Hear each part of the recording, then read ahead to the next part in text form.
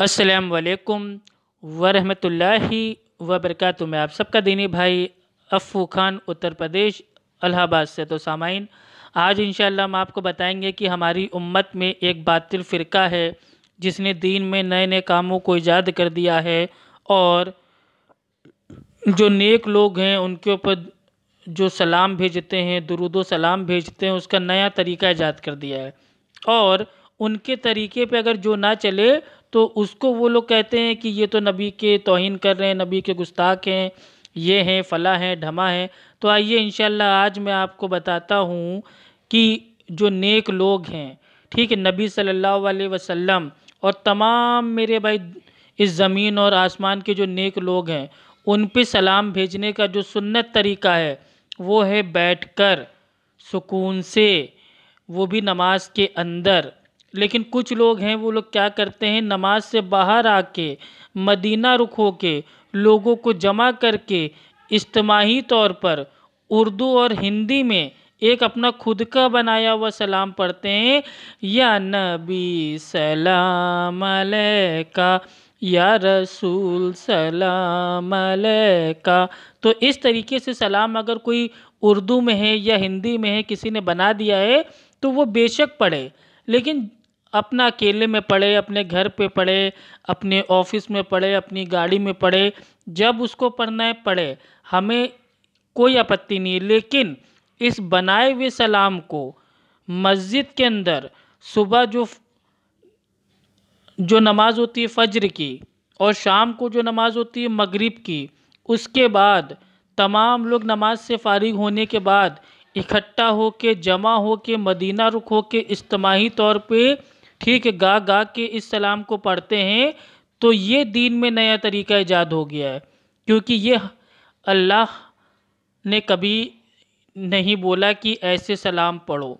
नबी सल्लल्लाहु अलैहि वसल्लम ने कभी सहाबा से नहीं कहा कि तुम लोग भी इकट्ठा होकर मदीना रुक होकर मेरे ऊपर दरुद सलाम पढ़ो। नहीं, जबकि जो जो नेक लोग हैं, जो नबी हैं और तमाम मेरे भाई जो नेक लोग हैं, उन पर जो सलाम है, दरूद है, वो भेजने का तरीका अल्हम्दुलिल्लाह आपके सामने है। और ये हदीस आती है बुखारी शरीफ में और हदीस का नंबर है आठ सौ इकतीस। इसमें अल्हम्दुलिल्लाह हमें पता चलता है कि हमें नबी सल्लल्लाहु अलैहि वसल्लम और तमाम नेक लोगों पे दरूद सलाम कैसे भेजना है, क्या सुन्नत तरीका है। आइए स्टार्ट करते हैं।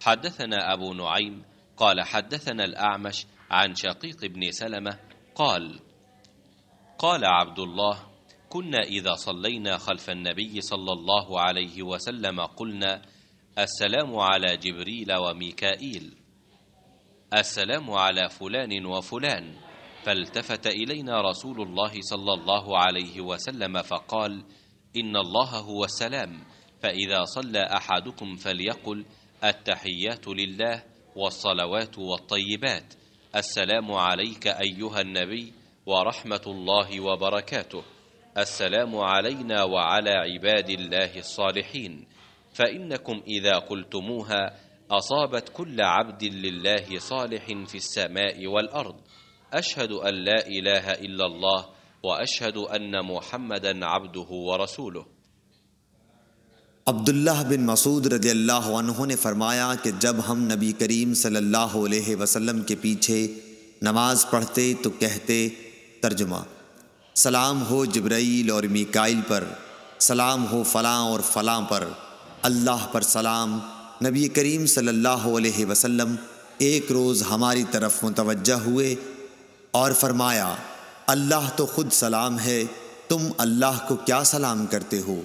इसलिए जब तुम में से कोई नमाज़ पढ़े तो ये कहे, तर्जुमा, तमाम आदाब बंदगी, तमाम इबादात और तमाम बेहतरीन तारीफ़ें अल्लाह के लिए हैं। आप पर सलाम हो नबी, और अल्लाह की रहमतें और उसकी बरकतें हम पर सलाम, और अल्लाह के तमाम सालह बंदों पर सलाम। जब तुम ये कहोगे तो तुम्हारा सलाम आसमान व ज़मीन में जहाँ कोई अल्लाह का नेक बंदा है उसको पहुँच जाएगा। मैं गवाही देता हूँ कि अल्लाह के सिवा कोई मबूद नहीं, और गवाही देता हूँ कि मोहम्मद सल्लल्लाहु अलैहि वसल्लम उसके बंदे और रसूल हैं। सही बुखारी, हदीस नंबर आठ सौ इकतीस। हाँ तो आपने देखा कि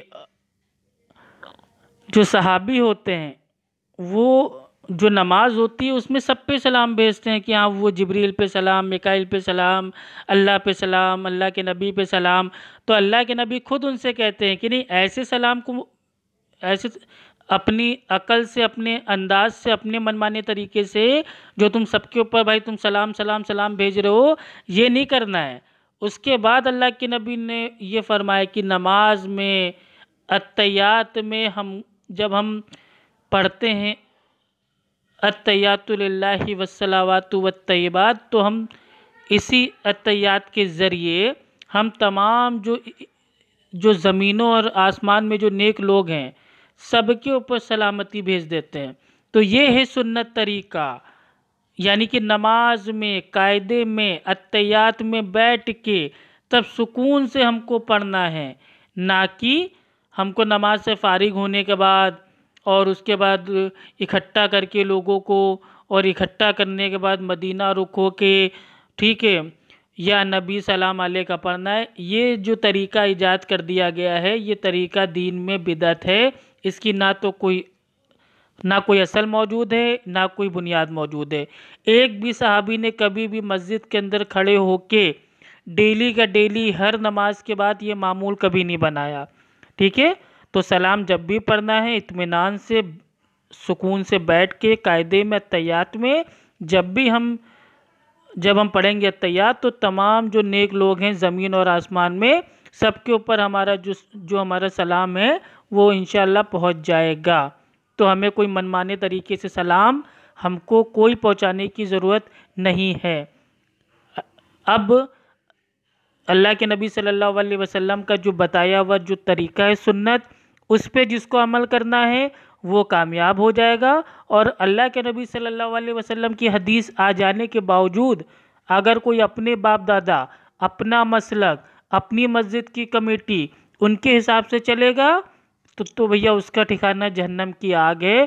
क्योंकि अल्लाह के नबी सल्लल्लाहु अलैहि वसल्लम ने फरमाया मुस्लिम शरीफ की हदीस है, और हदीस का नंबर है 2005 वो क्या हदीस है?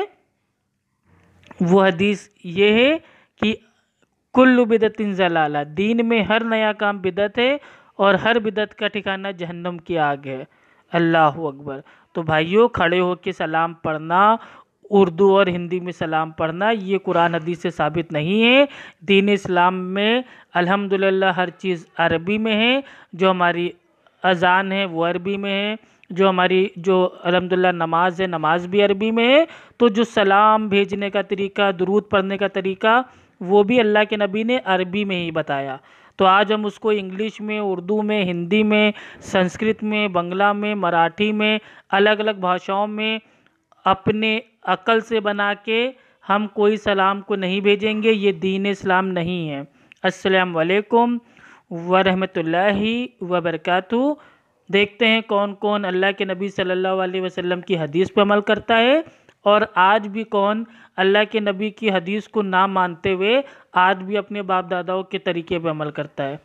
अल्लाह हमारे तमाम भाइयों को हिदायत दे।